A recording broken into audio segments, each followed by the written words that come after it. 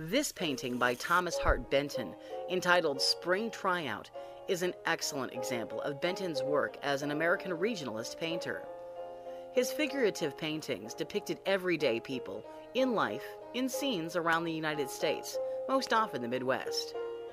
Like Grant Wood and John Steuart Curry, also known as regionalists, their focus shunned city life and rapidly developing technological advances to create scenes of rural life. Young Thomas spent much of his childhood between Missouri and Washington, D.C., as his father was a U.S. congressman.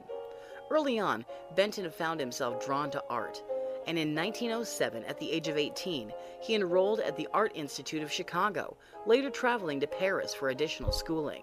While serving in the Navy in World War I, he was directed to make drawings and illustrations of shipyard work and life for documentation purposes. This greatly influenced his later drawings of ordinary people and daily living. When he returned to New York, he began embracing naturalistic and representational work. These realistic depictions became his signature, and he broke into the mainstream art scene in the 1930s by creating commissioned murals. He was highly criticized for including controversial images, such as the Ku Klux Klan, in murals, as well as slavery. Benton later returned to Missouri, which allowed him greater access to rural America, which was changing rapidly during this time.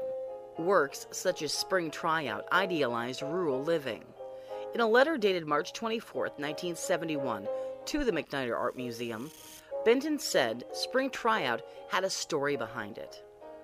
When I was a little kid in Neosho, Missouri, my family had an old buggy horse named Rex, a big horse. Rex, as he got old, was not used much and spent most of his time at pasture.